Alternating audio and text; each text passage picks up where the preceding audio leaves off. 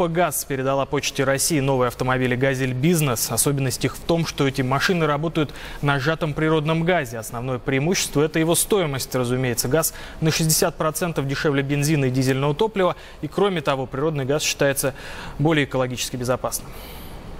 Мы а, продолжаем движение в сторону а, нашего клиента, основного потребителя. И очень важно, что с повышением экологических стандартов, введением новых экологических норм, это не сильно будет отражаться с переходом на эти автомобили на кошельке нашего клиента. То есть автомобили более высоких экологических классов легче достигают эти стандарты в версии на природном газе, так как выхлопы твердых частиц, парниковых газов, загрязняющих веществ в этом топливе, в результате работы этого топлива, значительно меньше. Ну, Почта России в ближайшее время начнет эксплуатировать новые машины в Смоленской и Новгородской областях.